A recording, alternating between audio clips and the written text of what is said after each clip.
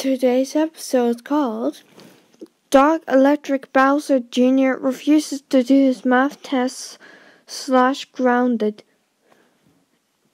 Okay class, today we are going to do a maths test.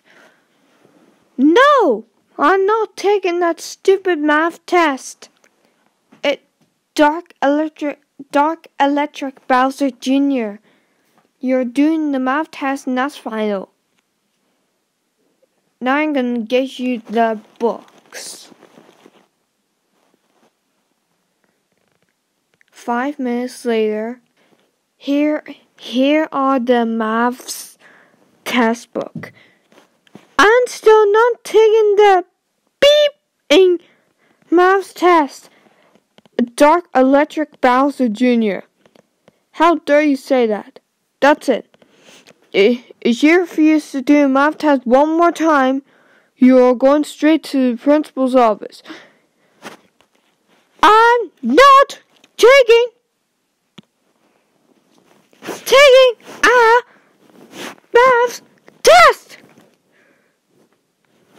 That's so so dark Electric Bowser Jr. You refuse your fourth strike. Go to the principal's office now. So